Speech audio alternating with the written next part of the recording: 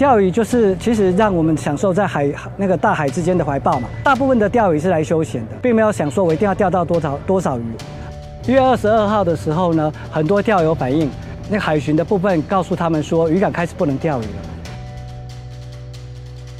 问在民国九十五年的时候，渔港法通过了，每个渔港必须让开放民众钓鱼嘛。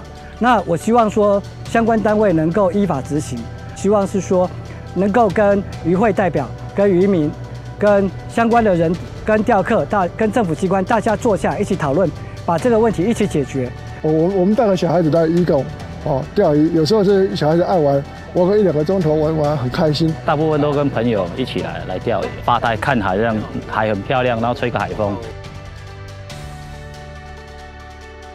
每天跟我们就能皮皮皮皮玩啊！我是吉兰区区的总干事，我到即马应该是做第五年。我嘛应该讲我是第一线，那边为啥反对？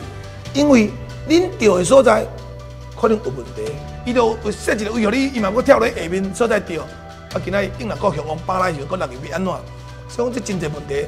今仔鱼有争取的是要开放钓点，渔民争取的是你开放卖影响钓粉，大家退一步，冷静来思考，你要钓鱼，你要过啥子？所以讲，我今仔希望大家。是一个冷静、一个开放、欢喜来讨论这个问题。我是新生业农业委员会业署署长黄伟燕。我们全国有两百二十二个渔港，其中九个是属于第一类由中央主管的，其他有两百一十三个都是地方主管的哈。渔港法啊定定到现在，我们已经开放十八个，但是我们理解哈，我们钓鱼朋友不满意哈，觉得这个数目太太少，希望前面。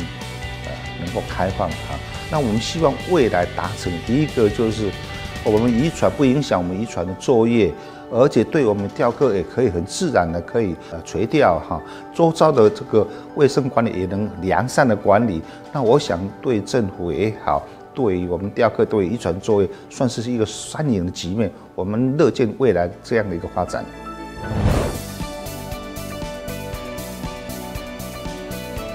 我们给他们钓鱼使用，所以我们做了这个栏杆。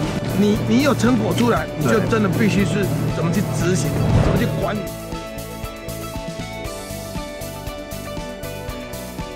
对，八号子就这个停车场在这里嘛？这边，这个是这个是没有栅栏，这样。